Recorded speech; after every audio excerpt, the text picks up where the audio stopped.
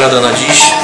E, Rada ty- dotyczy się e, ludzi bardziej otyłych, którzy pierwszy raz przychodzą na siłownię. E, Więc rada do Was jest taka, żebyście od razu nie wskakiwali na bieżnię, na orbitreki, jeżeli ta waga jest bardzo duża. Proponuję na początek, żebyście wskoczyli sobie na jakiś rowerek.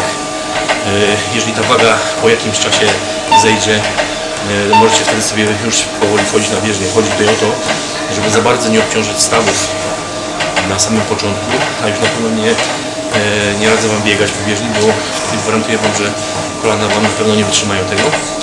Także najpierw rowerek, później ewentualnie bieżnia.